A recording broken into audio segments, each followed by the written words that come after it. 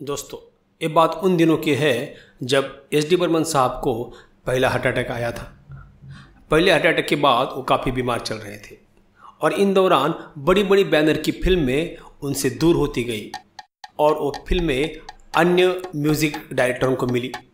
मगर ऐसे हालात में कुछ ऐसे बैनर्स थे जो एस डी बर्मन जी का साथ नहीं छोड़ना चाहते थे। उनमें देवानंद साहब कतई नहीं चाहते थे कि एस डी बर्मन जी के अलावा उनके फ़िल्मों को कोई और संगीत दे दे। जब गाइड फ़िल्म के लिए S D Burman ji music नहीं दे पा रहे थे, एक ही गाना उन्होंने कंप्लीट किया था और उसके बाद वो बीमार हो गए थे।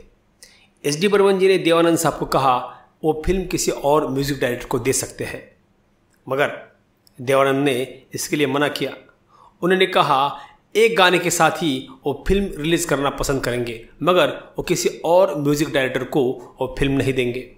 मगर ऐसे कई फ़िल्म डायरेक्टर थे जिन्होंने उनका साथ नहीं दिया। इनमें हम नाम ले सकते हैं गुरुदत्त साहब का। गुरुदत्त साहब की जितनी भी फ़िल्में हिट हुई थी, उसमें एस डी बर्मन जी का रोल बहुत बड़ा था। जब वो बीमार हो गए तो उन्होंने गुरुदत्त साहब को कहा कि उनके बेटे आर डी बर्मन इस फ़िल्म के लिए काम कर सकते हैं। और उन्होंने एक गाना भी इसके लिए कंपोज किया और वो गाना रिकॉर्ड भी हो गया था। और वो गाना उन्होंने गुरुदत्त साहब को सुनाया। वो गाना गाया था मोहम्मद रफ़ी साहब ने। गाना बड़ा लाजवाब था। फिर भी वो गाना गुरुदत्त साहब को इतना पसंद नहीं आया। और उन्होंने राहुल देव बर्मन जी को काम देने से मना किया। मगर ये जो गीत रफ़ी साहब ने बहारे फिर भी आएगी, इस फ़िल्म के गाया था एक गीत बड़ा बेमिसाल था। फिर भी एक गीत गुरदत्त साहब को पसंद नहीं आ रहा था। कोई न तेरा साथी हो डगर कहीं भी जाती हो।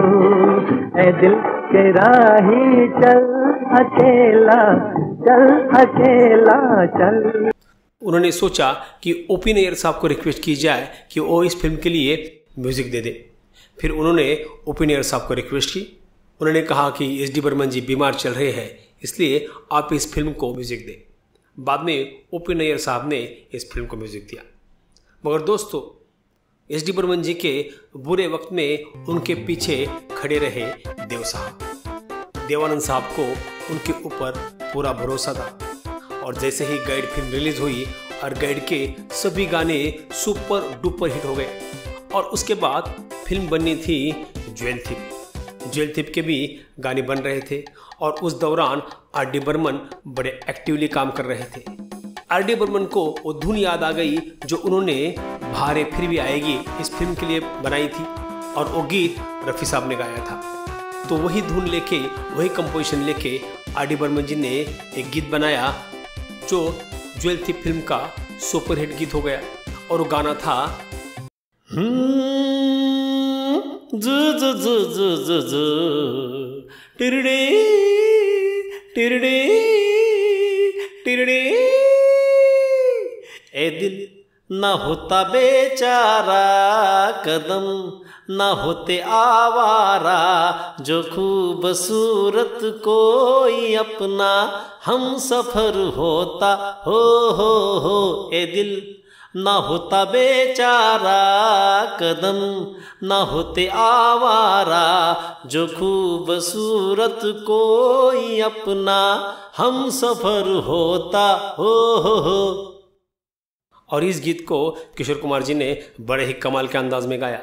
और इस गीत में किशोर कुमार जी ने यू का यूज़ बड़े ही बढ़िया तरीके से किया था। और ये गाना बड़ा सुपरहिट रहा। और इस गाने का म्यूज़िक और जिस तरह से किशोर कुमार जी ने इसे गाया था, इसका कोई जवाब नहीं। और किशोर कुमार जी की आवाज़ ने जादू कर दी। पहले एक कंपोजिशन गाया था रफ़ी साहब ने, और उसके बाद एक कंपोजिशन गाया किशोर कुमार जी ने। और किशोर कुमार का वर्जन रिलीज़ हुआ, और उसको बड़ी कामयाबी मिली। तो दोस्तों, जो वर्जन रफ़ी साहब ने गाया था, वो वर्जन रिलीज़ न हो सका, वो वर्जन फ़िल्म में ना आ सका। मगर जो किशोर कुमार ने यही वर्जन पे, यही कंपोजिशन पे नए शब्दों के साथ जब ये गीत गाया तो गीत बड़ा कामयाब हुआ, बड़ा ही सुपरहिट हुआ। आज भी हम सब लोग इस गीत के दीवाने हैं। तो दोस्तों, आप ये दोनों भी वर्जन सुन सकते हैं। तो दोस्तों, आप ही तय करिए किसका वर्जन ज़्यादा बेहतर था। मगर दोस्तों, इस गीत का असल फ़ायदा हुआ किशोर कुमार को। क्योंकि एक गीत चित्रित हुआ देव साहब पे। देवानंद साहब ने इस गीत पे बड़ी ज़बरदस्त एक्टिंग की थी और लोग उनके दीवाने हो चुके थे। न होता बेचारा कदम न होते आवारा जो खूबसूरत कोई अपना हम सफ़र होता। मगर अनफॉर्चुनेटली रफ़ी साहब का गीत उस वक्त रिलीज़ न हो सका। एक गीत चित्रित होने वाला था गुरुदत्त साहब पे। गुरुदत्त साहब ट्रेन में बैठते हैं और एक गीत वहीं पे गाते हैं। ऐसी सिचुएशन थी। मगर ये गाना उन पर चित्रित न हो सका और ना ये गाना रिलीज़ हो सका।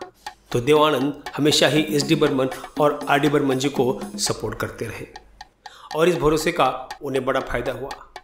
उनके हर फ़िल्म के गीत सुपरहिट होते ही थे। तो दोस्तों, इस प्रकार की और कुछ नई नई कहानियाँ मैं आपके लिए लेकर आऊँगा। अगर आपने ये चैनल सब्सक्राइब नहीं किया है तो दोस्तों, इसे सब्सक्राइब करें। जय हिंद, जय भारत।